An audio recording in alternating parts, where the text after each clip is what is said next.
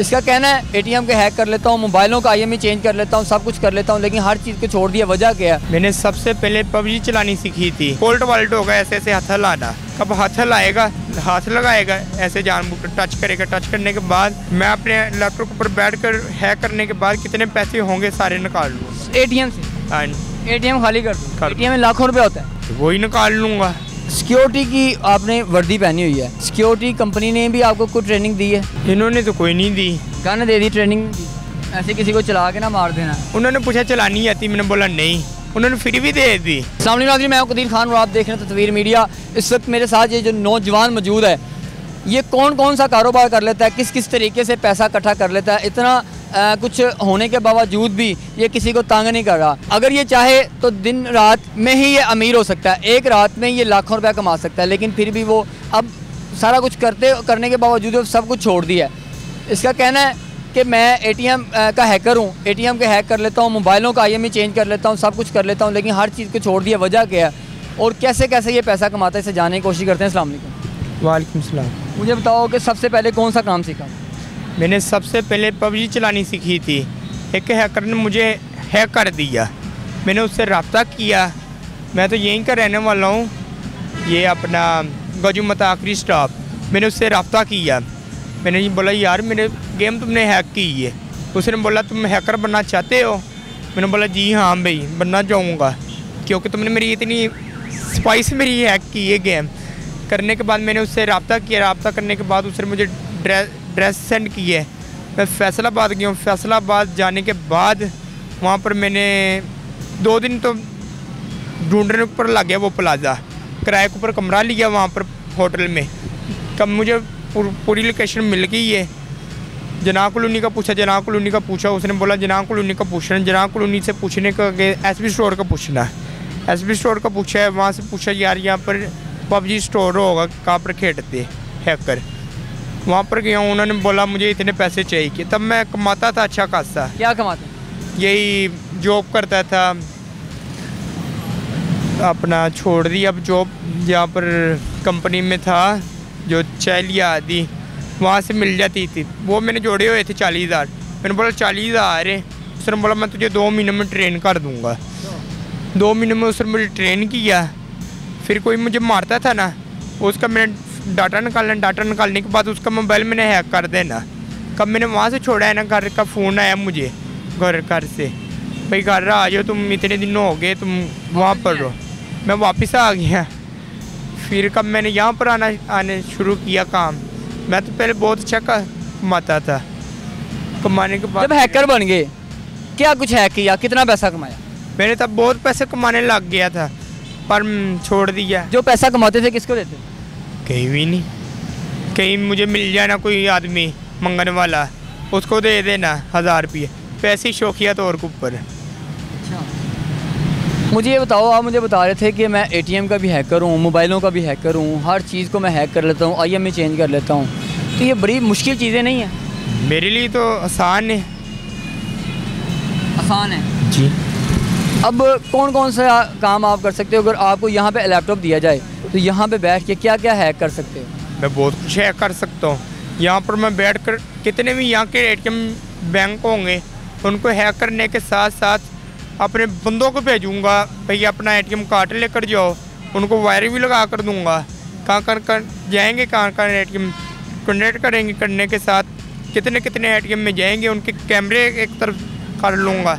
एक पास से तीन एंड लैपटॉप मुझे टोटल चाहिए कि तीन लैपटॉप होंगे फिर आपका नेटवर्क पूरा चलेगा। हाँ जी।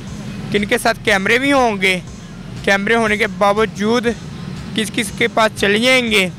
कब मैं उनके साथ रबता करूँगा। रबता करने के बाद कोल्ट वाल्ट होगा ऐसे ऐसे हाथ लाना कब हाथ लाएगा साथ ही एटीएम के ऊपर हाथ लगाएगा ऐसे जानबूझ कर टच करेगा। टच करने के बाद मैं अपने लैपटॉप के ऊपर बैठ कर हैक करने के बाद कितने पैसे होंगे सारे निकाल लूँ? एटीएम से। हाँ जी, एटीएम खाली कर दो। कर एटीएम में लाखों रुपए होता है। तो वही निकाल लूँगा। यार चेक करें क्या ट्रेनिंग ली है? दो माह की ट्रेनिंग है और हर चीज़ को हैक करके पैसा निकालना जानता है। मुझे बताओ सिक्योरिटी की आपने वर्दी पहनी हुई है। सिक्योरिटी कंपनी ने भी आपको कोई ट्रेनिंग दी है? इन्होंने तो कोई नहीं दी। गन दे दी ट्रेनिंग दी ऐसे किसी को चला के ना मार देना। उन्हों को उन्होंने पूछा चलानी आती मैंने बोला नहीं। उन्होंने फिर भी दे दी। आप ये भी चेक करिए अभी लम्हा फिक्री हमारी सिक्योरिटी इदारों के लिए कि एक चीज़ बंदे को चलानी नहीं आती यूज़ करनी नहीं आती इस्तेमाल करनी नहीं आती लेकिन उनको दी जाती है। और जगह मुख्तु जगहों पर उन जगहों पर खड़ा कर दिया जाता है जहाँ पर सिक्योरिटी थ्रेड्स होते हैं। बैंकों के सामने अस्पतालों के सामने जो हसास इमारतें होती हैं, उनके बाहर इनको खड़ा कर दिया जाता है कि आपने इसकी सिक्योरिटी के मामला जो हैं, वो देखने हैं। लेकिन इनको ट्रेनिंग कोई नहीं दी जाती। इनको सिर्फ़ यूनिफॉर्म दिया जाता है और ये कह दिया जाता है, आपको पंद्रह से बीस हज़ार रुपया सैलरी मिलेगी महीना की। लेकिन पीछे से तीस हज़ार लें, पैंतीस लें, चालीस लें, इनको पंद्रह, सोलह हज़ार, बीस हज़ार से ज़्यादा सैलरी नहीं दी जाती। इनके नाम पे खाया जाता है, लूटा जाता है।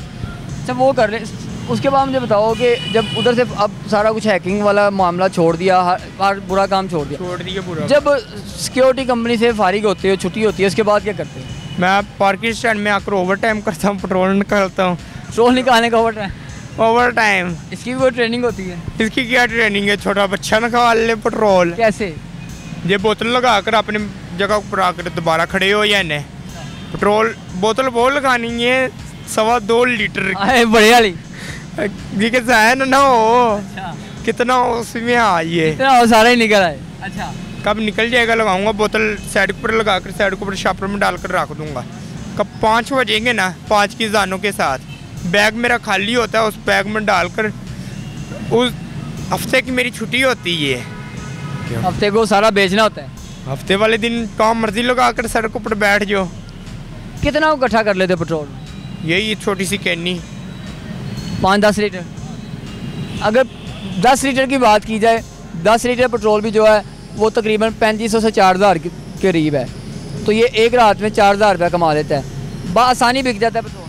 हाँ वो उस जगह पर लगा कर बैठना है ना पहले मैं जगह देखता हूँ कहाँ पर पेट्रोल ज़्यादा पेट्रोल दूर दूर तक कहीं से नहीं मिलता। वहाँ पर लगा कर बैठ जाने। अपने कितने का लीटर से? हाँ? कितने का लीटर? पाँच सौ का छोटी बोतल होती है ना वो पाँच सौ पाँच सौ का लीटर काम चेक करें तीन सौ बीस तीस रुपये का लीटर है लेकिन ये भाई पाँच सौ का लीटर ये कौन से पागल लोग आपके पास आ जाते हैं जो पाँच सौ का लीटर ले लेते हैं? भाई अब अब आप हैं अब कितनी दूर होगा यहाँ से? पेट्रोल पंप काफ़ी दूर है इधर से भी। दूर है? गर्मी अब कितनी लग रही है? गर्मी में चला नहीं जाता। पानी आपको कहीं मिलेगा वहाँ पर? नहीं यहाँ मिलेगा। पर मैं बैठाऊँगा मेरे पास तो कूलर होगा पीने के लिए। बिल्कुल ऐसे। आप यहाँ से आप पाँच कदम टुरेंगे आपको तो सारा जूस निकल गया। आप इधर इधर देखेंगे यार कहीं से पानी मिले मीठा। फिर आप मेरे पास आएँगे। भाई यार थोड़ा सा काम कर ले। भाई मैं इतनी गर्मी में बैठा हूँ सौ मुझे बचना है और चार सौ उस आदमी को बचना है किस, किसका तेल है। तो ये भी नहीं बताते कि ये तेल मेरा है। पेट्रोल का भी बताते किसी ने लेके दिया है। कार पूरा है? वो कहेगा यार चल ठीक है। फिर मैं अपने को बोतल लेनी जल्द यार नैसले की बोतल पी पैक। जा मौजा मार। यार तू तो सास करता है लोगों का नहीं यार की करा यार सौ रुपया मैनू बचे दे आपने सारी बात सुनी है किस तरीके से जो हैकर हैं वो आवाम का जमा पूंजी से जितने भी पैसे इकट्ठे किए दस को लूट लेते हैं। कैसे पैसा उनका उनको पैसों से महरूम कर देते हैं। लेकिन कुछ एहसास करने वाले अभी भी इस दुनिया में मौजूद हैं। जैसे कि आपने इस नौजवान की बात सुनी है, इसका कहना है कि मैंने किसी का छियालीस हज़ार रुपया निकाला और उसके बाद उस बंदे को मैंने देखा तो वो बंदा परेशान था। उसका कहना था कि मेरी वालदा हॉस्पिटल में है, जिस वजह से वो परेशान था। परेशानी की वजह से मैंने फ़ौर ही पैसे निकलवा के उसको दे दिए और उसको देने के बाद, उसके बाद मैंने तोबा कर ली कि आज के बाद किसी भी बैंक अकाउंट से पैसे हैक करके किसी को परेशान नहीं करना। तीन लैपटॉप थे जिससे ये सारा नेटवर्क चलता था, लैपटॉप भी तोड़ दिए, सब कुछ छोड़ दिया। अब एक सिक्योरिटी कंपनी में काम करके अपना पेट पाल रहा है और अपनी ज़िंदगी गुजार रहा है। देर आए, दुरुस्त आए। इस नौजवान ने सब छोड़ दिया, चाहे अब छोड़ दिया है, पहले जो भी किया, उसकी ये माफ़ी मांग रहा है। इसका कहना है, अभी मेरे दोस्त मौजूद हैं जो ये सब काम कर रहे हैं। ईद पे जाऊँगा, उनको मिलूँगा, उनको भी समझाने की कोशिश करूँगा, ये काम छोड़ दें, ताकि आवाम को परेशान ना किया जाए, आवाम के लिए सहूलतें पैदा की जाएँ। इसी के साथ अपने मेज़बान को दीजिए इजाज़त। अल्लाह ने के